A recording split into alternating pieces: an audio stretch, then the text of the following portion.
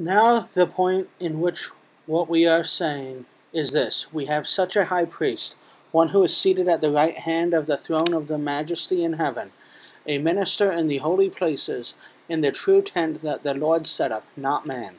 For every high priest is appointed to offer gifts and sacrifices.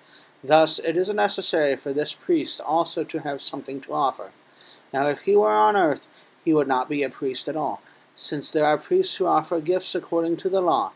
They serve a copy and shadow of the heavenly things.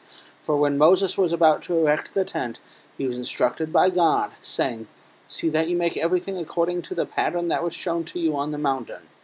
But as it is, Christ has obtained a ministry that is as much more excellent than the old as the covenant.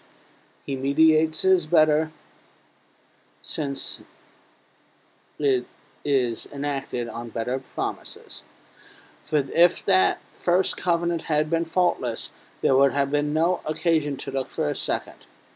For he finds fault with them when he says, Behold, the days are coming, declares the Lord, when I will establish a new covenant with the house of Israel and with the house of Judah, not like the covenant that I made with their fathers on that day when I took them by the hand to bring them out of the land of Egypt, for they did not continue my covenant. So I showed no concern for them, declares the Lord. For this is the covenant that I will make with the house of Israel after those days, declares the Lord. I will put my laws in their minds and write them on their hearts, and I will be their God, and they shall be my people. And they shall not teach each one his neighbor and each one his brother, saying, Know the Lord, for they shall all know me, from the least of them to the greatest.